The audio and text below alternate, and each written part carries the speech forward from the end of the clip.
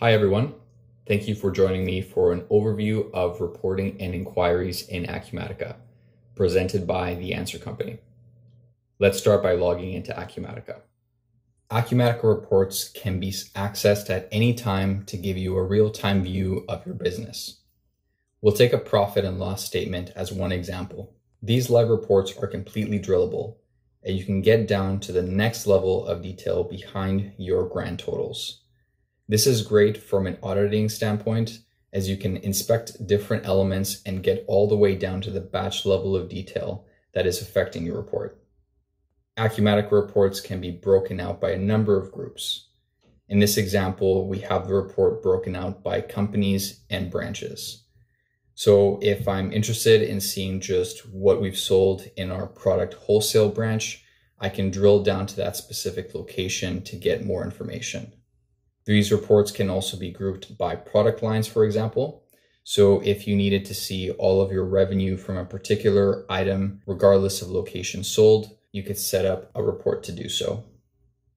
These reports can be printed, sent via Acumatica's emailing system, or exported to Excel or PDF, and you can even place reports on a schedule to be sent to the correct individuals at the appropriate times if needed.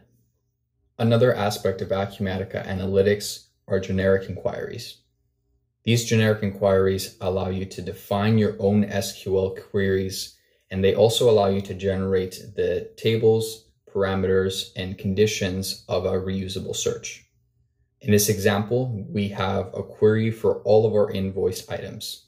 Essentially, we get a listing of all of the different orders we have invoiced over time with information about the customers, locations, dates, and more. However, Acumatica allows you to take this query much further. You can expose it via OData. Perhaps you use Power BI and would like to generate some charts and visuals. We can display it on our mobile application by selecting this box, and you'll see this inquiry through the Acumatica mobile app. Or you can even convert this into a pivot table to get the nested picture of many different elements of the query. We hope you enjoyed this short presentation on reports and inquiries in Acumatica. For more information on this or any other Acumatica topic, please contact the Answer Company.